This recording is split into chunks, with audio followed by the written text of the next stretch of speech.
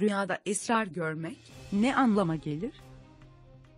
Rüyada gördüklerinizi sizin için yorumluyoruz. Esrar görmek bir anlam taşır mı? İyiye mi işarettir? Hayatımı etkiler mi? Rüyada esrar görmek. Esrar rüyada bir kişinin esrar kullanarak komaya girdiğini görmek, beklediği birisinin gecikeceğine, esrar satıcısı görmek, basaresizliğinden dolayı duyduğu büyük bir hayal kırıklığına delalet eder. Bir başka rivayete göre de, rüyada uyuşturucu kullanmak, rüya sahibinin dengesiz. Devamını, Rüya Tabirleri kitabı.com'da okumak için aşağıdaki bağlantıya linki tıklayın.